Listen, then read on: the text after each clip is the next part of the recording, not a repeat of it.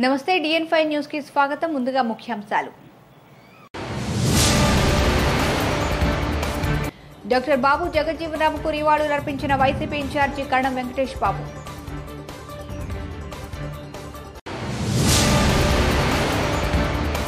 TDP incharge MM Kondaiah ఆధ్వర్యంలో బాబు జగజ్జీవనరామ్కు ఘన నివాళి.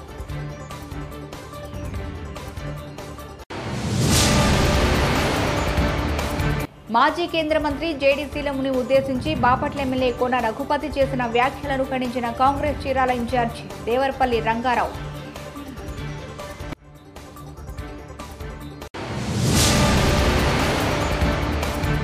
సిపిఎం ఆధ్వర్యంలో డాక్టర్ బాబు జగజ్జీవన్ రామ్కు ఘన నివాళి.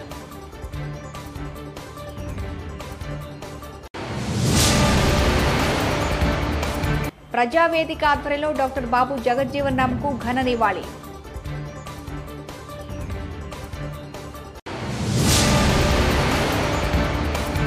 ఎంఆర్పీఎస్ ఆధ్వర్యంలో డాక్టర్ బాబు జగజ్జీవన్ రామ్ జయంతి సభ నివాళులు అర్పించిన పలువురు ప్రముఖులు.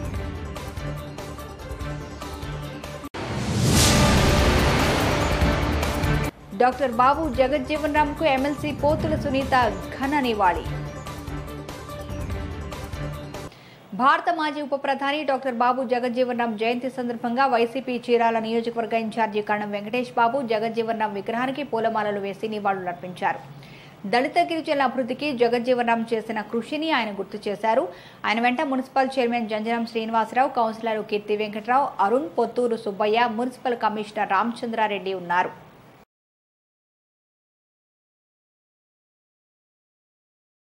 చీరాల ముక్కోణం పార్కు సెంటర్లోని మాజీ ఉప ప్రధాని డాక్టర్ బాబు జగజ్జీవన్ రామ్ నూట పదహారవ జయంతి సందర్భంగా తెలుగుదేశం ఇన్ఛార్జ్ ఎంఎం కొండయ్య ఆధ్వర్యంలో ఆయన విగ్రహానికి పూలమాలలు వేసి నివాళులర్పించారు. ఈ సందర్భంగా కొండయ్య మాట్లాడుతూ డాక్టర్ బాబు జగజ్జీవన్ రామ్ బీహార్లో జన్మించారని పంతొమ్మిది వందల ముప్పై ఏడులో శాసనసభ్యునిగా ఎన్నికయ్యారని అన్నారు. కేంద్ర మంత్రిగా భారత ఉప ప్రధానిగా పదవులు అలంకరించారన్నారు. దళితులు బడుగు బలహీన వర్గాలకు అండగా నిలిచారన్నారు. ఈ కార్యక్రమంలో పట్టణ అధ్యక్షులు గజవల్లి శ్రీనివాసరావు రబ్బాని ఆనంద్ కౌతవరపు జనార్దన్ సుబ్బలక్ష్మి పాల్గొన్నారు. రాజకీయవేత్త అలాగే తొలిసారిగా పంతొమ్మిది వందల ముప్పై ఏడులో ఆయన శాసనసభకు ఎన్నికయ్యాడు ఆ తర్వాత ఆయన అనేక సందర్భాల్లో ఈ అంటరానితనం మీద ఆల్ ఇండియా లెవెల్లో ఒక ఉద్యమం లాగా తీసుకొచ్చి ఆ తర్వాత ఆయన భారత పార్లమెంట్లో దాదాపు నలభై సంవత్సరాలుగా మంత్రిగాను ఉప ప్రధానిగాను అనేక రకాల పదవులు అనుభవించినటువంటి వ్యక్తి. ఆ తర్వాత క్రమంలో కూడా ఆయన కుమార్తె మీరా కుమారి కూడా కొన్ని పదవులు అలంకరించారు. అత్యున్నతమైనటువంటి స్పీకర్గా కూడా ఆవిడ కూడా ఆమె యొక్క పాత్రని గొప్పగా ముందుకు తీసుకురావడం జరిగింది.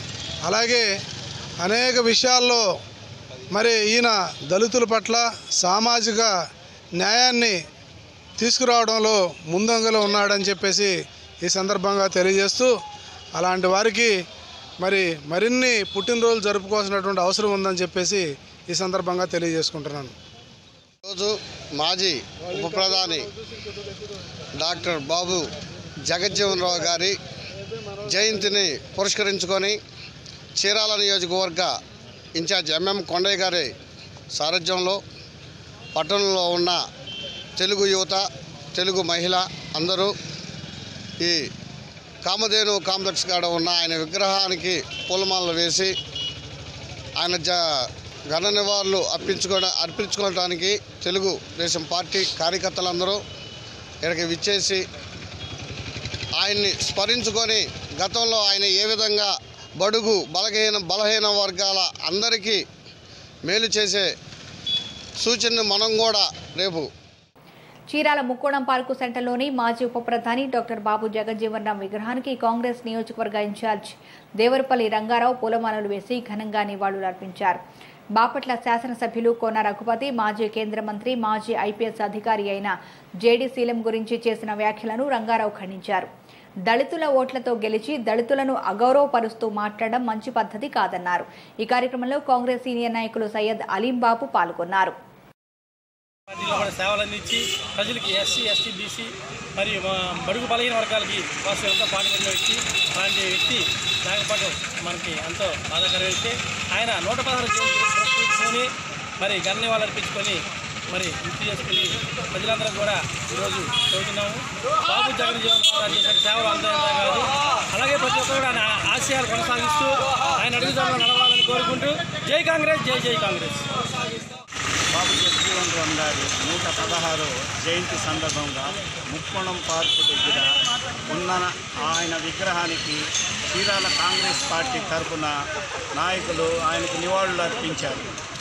భారతదేశంలో దళిత నాయకుడిగా ఎంతో పేరు ప్రఖ్యాతులు పొంది డెబ్భై ఐదు సంవత్సరాలు ఆయన రాజకీయ సేవలో మచ్చ కళంకం లేని నీతి నిజాయితీలు గల నాయకుడుగా ఆయన ఎంతో ప్రశంసలు పొందారు. కేంద్రంలో ఎంతో ఎన్నో మంత్రి పదవులు పొంది చివరగా జనతా చీరాల ముక్కోడం పార్కు సెంటర్లోని మాజీ ఉప ప్రధాని డాక్టర్ బాబు జగజ్జీవన్రామ్ నూట పదహారవ జయంతి సందర్భంగా సిపిఎం ఆధ్వర్యంలో జగజ్జీవన్రామ్ విగ్రహానికి పూలమాలలు వేసి నివాళులర్పించారు. ఈ కార్యక్రమంలో సిపిఎం బాపట్ల జిల్లా కార్యదర్శి సిహెచ్ గంగయ్య కుల వివక్ష వ్యతిరేక పోరాట సంఘం అధ్యక్షులు లింగం జయరాజు జన విజ్ఞాన వేదిక రాష్ట్ర ఉపాధ్యక్షులు కుర్రా రామారావు నారపరెడ్డి చీరాల సిపిఎం కార్యదర్శి Nukatoti Baburao PV Gopalarao P Kondaiah G Pratap Kumar పాల్గొన్నారు.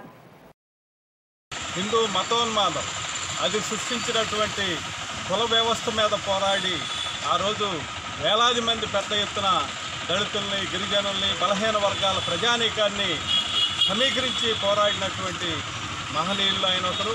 అట్లనే ఈ దేశంలో పరిపాలనలో అటు మంత్రిగాను ఉప ప్రధానిగాను అనేక పదవులు అధిరోహించి ఈరోజు అనేక సంస్కరణలకి మార్గదర్శకులుగా నిలిచినటువంటి పరిస్థితి. ఈరోజు దేశంలో హిందూ మతోన్మాద శక్తులు ఆర్ఎస్ఎస్ దీనికి అనుబంధంగా ఉండేటువంటి బీజేపీ అధికారంలోకి వచ్చిన తర్వాత మరలా కులం పేరుతోటి దళితులు గిరిజనులు మైనారిటీలు మహిళల పట్ల తీవ్రమైనటువంటి వివక్షత ఈరోజు ముందుకు వస్తున్నటువంటి పరిస్థితి ఉంది. ఈరోజు దళితుల్ని వేరుగా చూడటం ఈరోజు అసలు రిజర్వేషన్లే అవసరం లేదనేటువంటి పద్ధతుల్లో మాట్లాడేటువంటి పరిస్థితికి ఈరోజు కేంద్రంలో అధికారంలో ఉండేటువంటి బీజేపీ పెద్ద ఎత్తున ఇట్లాంటి భావజాలాన్ని ముందుకు తెస్తూ ఉంది. ఈరోజు దళితులు కానీ లేకుంటే బలహీన వర్గాల ప్రజానీకం కానీ ఈ హిందూ మతోన్మా శక్తులకు ప్రత్యేకంగా బీజేపీకి వ్యతిరేకంగా అందరం వెలుగెత్తి పోరాడాల్సినటువంటి అవసరం ఉంది. ఈరోజు ప్రభుత్వ రంగం మొత్తాన్ని ప్రైవేటు కార్పొరేట్ సంస్థలకు అప్పగించిన తర్వాత రిజర్వేషన్లు అనేటువంటి వాటికి అర్థం కూడా లేకుండా పోయేటువంటి ఒక పరిస్థితి వచ్చింది. అందుకని ఈ ప్రైవేటీకరణకి కార్పొరేటీకరణకి వ్యతిరేకంగా పోరాడాల్సినటువంటి అవసరం కూడా పెద్ద ఎత్తున ముందుకు వస్తూ ఉంది. దళితులు గిరిజనులు బలహీన వర్గాల సంక్షేమాన్ని విహర విస్మరించి వాళ్ళకి రావాల్సినటువంటి వాటన్నిటిని కూడా పక్కకి నెట్టేసి కార్పొరేట్ సంస్థల యొక్క వాళ్ళ లాభాలను పెంచడం కోసం ఈరోజు ప్రభుత్వం పెద్ద ఎత్తున కృషి చేస్తూ ఉంది. నరేంద్ర మోడీ అదానీ అంబానీ లాంటి కొద్ది కార్పొరేట్ కంపెనీల యొక్క ప్రయోజనాల కోసం ఈ దేశ ప్రజల ప్రయోజనాల్ని క్షణంగా పెట్టేటువంటి పరిస్థితి వస్తూ ఉంది. అందుకని ఈ పోరాటాల్లో సిపిఎం పార్టీ పెద్ద ఎత్తున అగ్రభాగాన ఉంటుంది. ఈ దేశంలో ఉండేటువంటి సామాజిక వాదులు దళిత గిరిజన ప్రజా సంఘాల వాళ్ళు అట్లనే మేధావి వర్గం ప్రజాస్వామిక వాదులందరూ కూడా ఈ ఉద్యమాల్లో కలిసి రావాలని చెప్పేసి విజ్ఞప్తి చేస్తూ వ్యవసాయ శాఖ మంత్రి ఉన్నప్పుడు ఇది ఆధునిక రీతిలో పంట పండించడం కూడా ఆయన దాని కోసం జరిగింది. అదేవిధంగా కార్మిక హక్కులు వేతనాలు ఒక మొదలు సంస్కరణ ప్రవేశించడం జరిగింది. రాజ్యాంగ సభ్యుడిగా రాజ్యాంగం ఏ విధంగా ఉండాలా స్వేచ్ఛ సమానత స్వతంత్రం మంచి ప్రజాస్వామ్యం ఉండాలని అదేవిధంగా భారతదేశంలో అంటరానితనం ఉండకూడదని వేపు ఉండకూడదని ఆయన ఆ విషయంలో అనేక దేశవ్యాప్తంగా పోరాటం చేయడం జరిగింది. కానీ ఈ రోజున స్వాతంత్రం వచ్చి డెబ్బై సంవత్సరాలు సిద్ధించినప్పటికీ కూడా మన దేశం ముందుకు పోతుందా వెనకపోతుందా కానీ శాస్త్రీయంగా ప్రపంచ దేశాలు ముందుకు పోతూ ఉన్నాయి కానీ మనం మాత్రం మన దేశ ప్రజల్లో మనలో మూఢనమ్మకాలు పెంపొందించి మతం అనే ప్రాతిపదికన దేశం దేశభక్తి అనే ప్రాతిపదికన ఈ దేశాన్ని చీర్చి చెండేటట్లో ఆర్ఎస్ఎస్ నాయకులు ప్రముఖులుగా ముందుగా ఉన్నటువంటి పరిస్థితి. మన శ్రీరామిన పండుగను పురస్కరించుకొని బీహార్లో కానీ అంటే పశ్చిమ బెంగాల్లో కానీ మత విధ్వంసాలు జరిగిన పరిస్థితి. ఒక ప్రక్క ప్రజాస్వామ్యాన్ని కూనీ చేస్తూనే ప్రజాస్వామ్యం మంచిగా ఉందని చెప్తా ఉన్నారు. కేవలం మతం ద్వారా ఈ సమాజాన్ని చీలికలు పీలికలు చేసి జనంలో వివక్ష వివక్ష అన్నటువంటి అంశాన్ని తీసుకొచ్చి ఒకటే ఆహారం ఒకటే డ్రెస్సు ఒకటే భాష ఒకటే మతం ఉన్నటువంటి సదుద్దేశంతో ఈనాటి పాలకులు వారికి పేసాలు వేస్తూ ఉన్నారు. అదేవిధంగా అదేవిధంగా మరి రిజర్వేషన్ సెక్టార్లు ఈరోజు ప్రైవేటీకరణ వైపు నడుస్తూ రిజర్వేషన్ సెక్టార్ అందరినీ అందరూ కూడా డ్రాప్ చేసే పరిస్థితి కనిపిస్తుంది. రిజర్వేషన్ ఉండాలి. అంబేద్కర్ గారు రాసిన రాజ్యాంగంలో ఈ భారతదేశం అందరూ సమానంగా ఉండాలనే ఆలోచనతో రిజర్వేషన్ ప్రవేశపెట్టారు. అది కొనసాగాలి. ఈరోజు ప్రైవేటీకరణ వైపుగా ఉంటే మరి రిజర్వేషన్ పరిస్థితి కనపడకుండా పోతుంది. అదేవిధంగా కొన్ని దాడులు కొన్ని అణగారిన వర్గాల మీద దాడులు కూడా జరుగుతున్నాయి. ఆ దాడులు జరగకుండా ఉండాలని భారతదేశంలో ప్రజలందరూ హక్కులను సమానంగా అనుభవించాలని ప్రకృతిని కూడా సమానంగా అనుభవించాలని ఆయన వెలుగెత్తి చాటాడు. అదే అదే నినాదంతో ఈరోజు ప్రజా సంఘాలన్నీ కూడా బాబు జగజ్జీవనరావు గారికి నివాళులర్పించి సమానత్వంగా ఉండాలి ప్రజాస్వామ్యం వర్దిల్లాలి అనే నివా- నినాదంతో ఈ కార్యక్రమాన్ని మేము చేపట్టాం. Thank you very much Hindu మతోన్మాదం RSS భారతదేశ ప్రజల్ని విభజించి పాలించేటువంటి సూత్రంతో అంతేకాకుండా మోహమోడైతే దాడులు కొనసాగిస్తున్నాయి. మతోన్మాదులు పెట్టి అయిపోతున్నారు. ఈ దేశంలో ప్రజలు అనేక రకాల కష్టాలు గురవుతున్నారు. ప్రజల మీద ఏదైనా భారాలు మోపుతున్నారు. ప్రజలు భరించే స్థితిలో లేరు. రైతాంగం కానీ నిరుద్యోగం కానీ నిరు అదేవిధంగా పేదలు కానీ అందరూ కూడా ఎప్పుడు కూడా సమస్యలతోటి ఇప్పుడు బాధపడుతున్నారు. డాక్టర్ బాబు జగజ్జీవనం జయంతి సందర్భంగా ప్రజావేదిక ఆధ్వర్యంలో జగజ్జీవనం విగ్రహానికి పూలమాలలు వేసి ఘనంగా నివాళులు అర్పించారు. భారత ఉప ప్రధానిగా జగజ్జీవనం చేసిన కృషిని కొనియాడారు. ఈ కార్యక్రమంలో ప్రజావేదిక రాష్ట్ర అధ్యక్షులు గుమ్మడి యేసురత్నం నీలం శామిల్ మోజేష్ పాల్గొన్నారు. ఈనాడు మనం పడుతున్నటువంటి దళిత జాతి మరి ఎస్సీ ఎస్టీ బీసీ ముస్లిం మైనార్టీలు పడుతున్నటువంటి ఇబ్బందులు ఇవన్నీ కూడా అధిగమించాలంటే సంఘటిత శక్తిగా మనం మరి ఆవిర్భావించాలి. ఇప్పటి వరకు కూడా మన జాతికి మనం ఓట్లు వేయటువంటి అర్హత లేదు ఓటు అయితేనే అధికారం కనుక ఆ ఓటు అధికారాన్ని మనం చేజిక్కించుకోవాలా? పట్టుభద్రుల ఎమ్మెల్సీ ఎలక్షన్లో మరి నీలం శ్యామ గారిని పోటీ చేయించాం. ఇదే దృక్పథం మీద ఒక అంబేద్కర్ ఆలోచన విధానం మీద పెడితే మరి మనకి ఆశించిన రీతిలో పట్టభద్రులు ఓట్లు వేయటం జరిగింది. పట్టభద్రులారా ఆలోచించండి. ఈ సమాజాన్ని ఎటు తీసుకెళ్తున్నాం. బాబు జగజీవన్ రావు గారి ఆలోచన విధానం ఏంటి?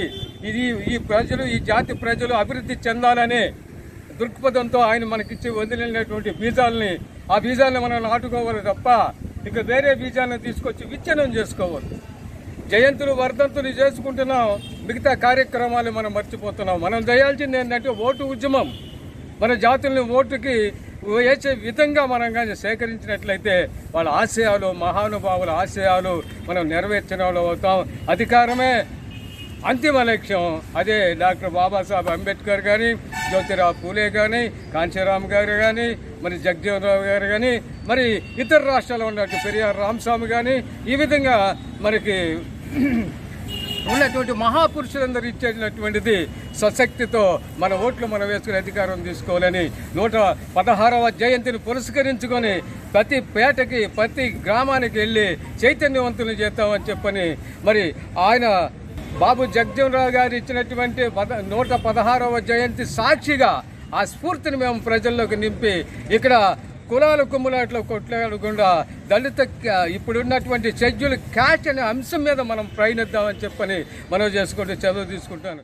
భారత ఉప ప్రధాని డాక్టర్ బాబు జగజ్జీవన్రామ్ జయంతిని ఎంఆర్పీఎస్ ఆధ్వర్యంలో ఘనంగా నిర్వహించారు.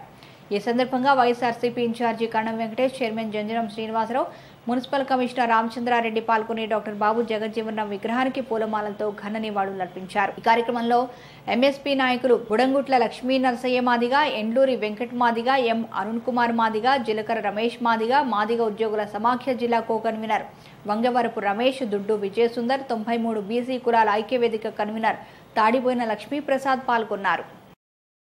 సామాజిక వర్గ పెద్దలకు అందరూ కూడా కలిసి ఈరోజు చాలా ఘనంగా బాబు జగజ్జీవనరావు గారి నూట పదహారవ జయంతి జరుపుకోవడం జరిగింది. కాబట్టి డాక్టర్ బాబు జగజ్జీవనరావు గారు ఈ భారతదేశంలో దళిత కులంలో జన్మించి అనేక అసమానతలను ఎదుర్కొని అస్మృతిని కూడా అనుభవించి దళితులకు అస్మృతి పోవాలంటే ఖచ్చితంగా చదువుకొని రాజ్యాంగబద్ధంగా కూడా మార్పు చేయాలని ఒక ఉద్దేశంతో ఆయన చిన్నతనం నుంచే ఒక పద్ధతి ప్రకారము ఎదుగుతూ వచ్చి భారతదేశ చట్టసభల్లోకి వెళ్ళి భారత పార్లమె ఉన్నత పా- పార్లమెంటులో భార ఉప ప్రధానిగా ఉన్నటువంటి బాబు జగజీవనరావు గారు అనేకమైన శాఖలు నిర్వహించడం జరిగింది. ఆ శాఖల ద్వారాగా దేశ రక్షణ కోసం కావచ్చు ఆహార భద్రత కోసం కావచ్చు కార్మిక శా- శా- శాఖ కావచ్చు అన్ని శాఖలు చేసి దిగ్విజయంగా చేసినటువంటి వ్యక్తి డాక్టర్ బాబు జగజీవనరావు గారు. అంతేకాకుండా బాబు జగజీవనరావు గారు దళితుల్లో ఉన్నటువంటి అసమానతలు తొలగించడం కోసం ఎన్నో పోరాటాలు కూడా చేసిన వ్యక్తి డాక్టర్ బాబు జగజీవనరావు గారు. కాబట్టి భారత మాజీ ఉప ప్రధాని డాక్టర్ బాబు జగజ్జీవన్ రామ్ జయంతి సందర్భంగా ఎమ్మెల్సీ పోతుల సునీత జగజ్జీవన్ రామ్ విగ్రహానికి పూలమాలలు వేసి నివాళులర్పించారు. ఆమె వెంట మాజీ కౌన్సిలర్ మల్లెల బుల్లిబాబు ఉన్నారు. జగన్మోహన్ రెడ్డి గారు ప్రజల హృదయాల్లో నిలిచిపోయే నాయకునిగా ఈరోజు ఆయన కార్యక్రమాలు చేస్తున్నాడు కాబట్టి ఈరోజు జగన్మోహన్ రెడ్డి గారి టార్గెట్ ఏదైతే ఉందో రెండు వేల ఇరవై నాలుగు నూట డెబ్బై ఐదు నూట డెబ్బై ఐదు స్థానాలు ప్రజలు ఇస్తారని మరి ఒక కాన్సెప్ట్తో ఈరోజు ముఖ్యమంత్రి గారు ఉన్నారు కాబట్టి మన ఎస్ఎస్టీ బీసీ మైనార్టీ మహిళలందరూ కూడా రైతులందరూ కూడా మేధావులందరూ కూడా ఒక మంచి ఆలోచనతో ఈ దుష్ట చతుర్యాన్ని ఎదుర్కొని జగన్మోహన్ రెడ్డి గారికి అండగా నిలబడాలని చెప్పి అలా నిలబడిన రోజే నిజమైనటువంటి నివాళులు మరి జగ్జీవన్ రామ్ గారు కానీ అంబేద్కర్ గారికి కానీ పూలే గారికి కానీ ఈ వర్గాలు అర్పించిన వాళ్ళు అవుతారని కూడా నా యొక్క భావం వార్తలు ముగించే ముందు ముఖ్యాంశాలు మరోసారి చూద్దాం. డాక్టర్ బాబు జగజ్జీవనరామ్కు నివాళులు అర్పించిన వైసీపీ ఇన్ఛార్జి కరణం వెంకటేష్ బాబు.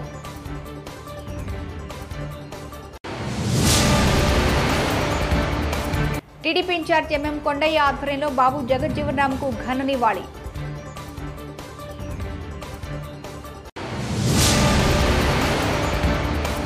మాజీ కేంద్ర మంత్రి జేడీసీలముని ఉద్దేశించి బాపట్ల ఎమ్మెల్యే కోన రఘుపతి చేసిన వ్యాఖ్యలను ఖండించిన కాంగ్రెస్ చీరాల ఇన్ఛార్జి దేవరపల్లి రంగారావు.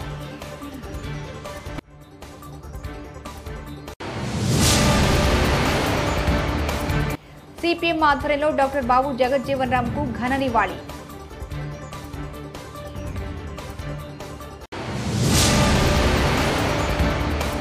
ప్రజావేదిక ఆధ్వర్యంలో డాక్టర్ బాబు జగజ్జీవన్ రామ్కు ఘన నివాళి.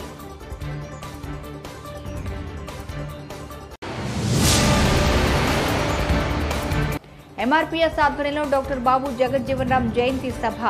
నివాళులు అర్పించిన పలువురు ప్రముఖులు.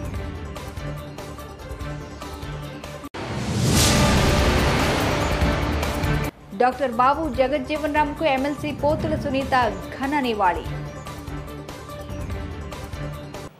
ఇవి బులెటిన్లోని విశేషాలు. మరో బులెటిన్లో మళ్ళీ కలుద్దాం. చూస్తూనే ఉండండి. DN five news.